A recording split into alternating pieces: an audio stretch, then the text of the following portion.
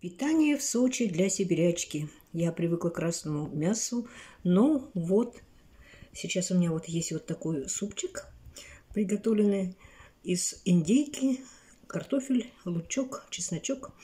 Вот. И туда я хочу добавить немножечко, вот чуть-чуть, не знаю, вот яйца я не очень люблю, плохо к ним отношусь, но отварила одно яйцо, думаю, может быть, чуть-чуть добавлю э, яйца, вот насчет помидора у меня сомнения.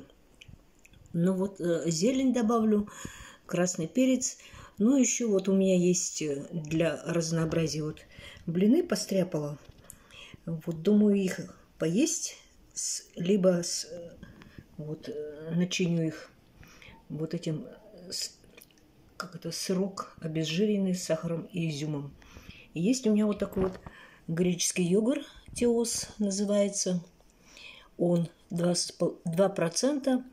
В общем, им я пытаюсь заменить сметану. Вот такой сегодня я себе планирую обед. Ну, основное блюдо будет горячее, конечно, вот это. Что я туда добавлю, ну, будет зависеть немножечко от моего настроения. Ну ладно, сибирячка, приятного аппетита.